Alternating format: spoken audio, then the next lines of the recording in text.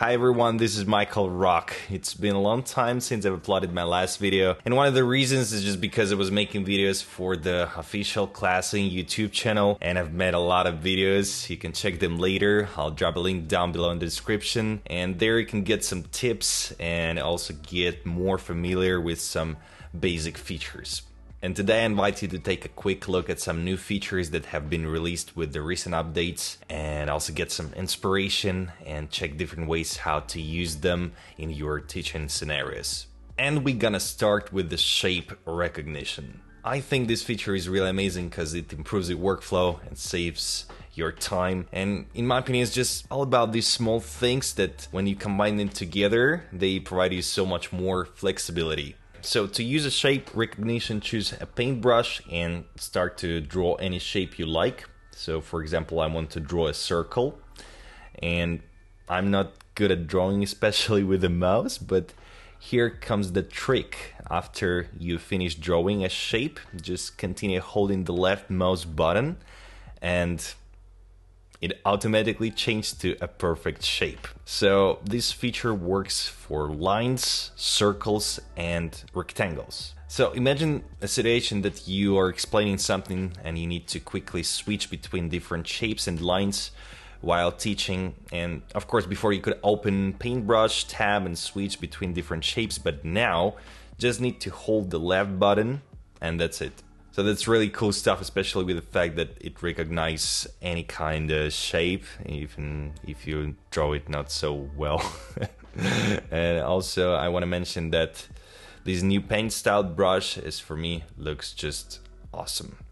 Okay, so the next one is the eraser, and I need to mention here that it only works with the content that you've created with the paintbrush. Okay, let's take a quick look at that and I find this still very convenient because before, if you drew something and maybe you need to delete only a part and just you had no choice but to delete the whole object. But now you can use eraser and erase some parts of the content that you've created with a paintbrush. So basically it has three different sizes. In the most of cases I go with the middle size and I like to turn on and turn off it with a shortcut command E.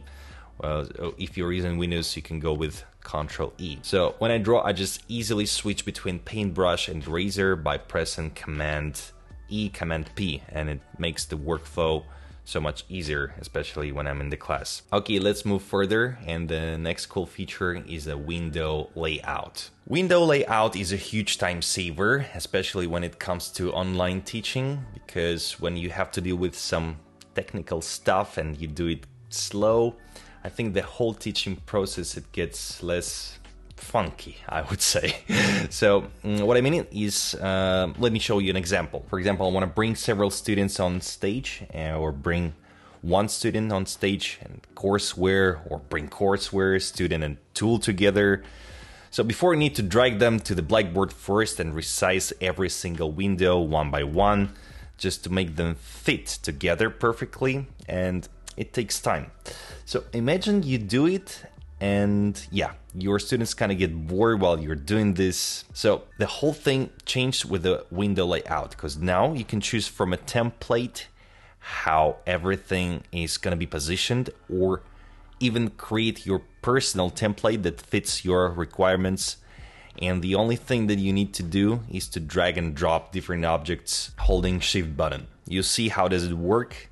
Easy and brings your speed and workflow to a whole new level. Alright, so the next feature that I'd like to show you is a teaching material library. To use it, click on Teaching Tools and choose Teaching Material Library. So the main idea here is that you don't need to search for some specific images on the internet and then upload them one by one.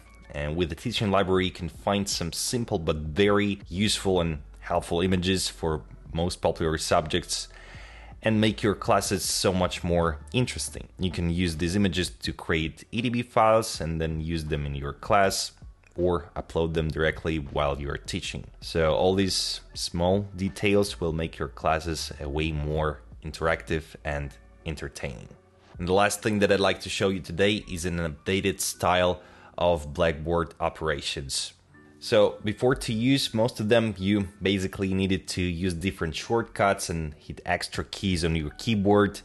But now the whole process is a way more intuitive and easy. Now every image, shape or text on your blackboard has this little gray circle and if you click on it, you can easily rotate your objects, change and lock the size of it, lock the whole image or text or bring it to front, send it to back copy or delete it. And with text, you can do the same stuff and also you can change the size and color of a font. And this is just really, really awesome. You can change color of shapes as well. So now you have a full control on every single object on your blackboard before or during the class and you can use this feature while teaching. So yeah, that's just really amazing. Alright guys, I really really hope you enjoyed this video and I would really appreciate if you can hit that like button and also subscribe to my channel if you haven't subscribed yet. So that's it, have a good day and I'll see you in the next video.